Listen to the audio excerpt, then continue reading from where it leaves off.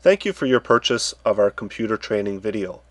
In order to play the video properly, you need to install a TSCC codec, which is a compressor decompressor of data, into your AVI player.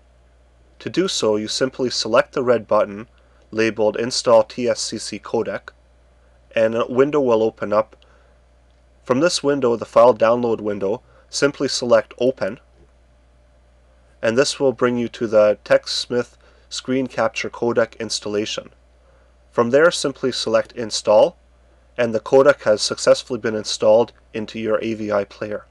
Select OK, then select the video from the buttons on the left hand side which you want to see played. In order to view the video properly, the recommended screen size is 800 by, screen, by 600 pixels. In order to, to adjust your desktop, Right-click anywhere on the desktop, select Properties. From the tabs at the top, select Settings.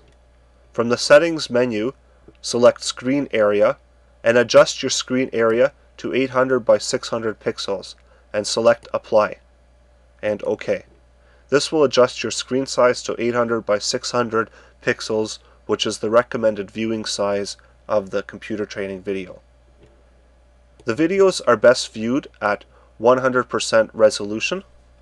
And we recommend using Windows Media Player, which is a free download from the Microsoft website, or you can select from our website, discoveryvip.com, and select from downloads the Windows Media Player.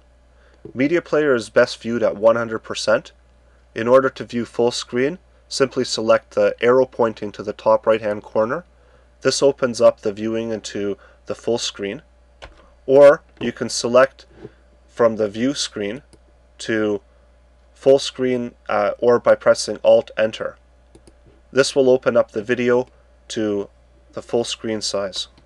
Screen at 800 by 600 pixels is the recommended viewing size of the Discovery computer training video.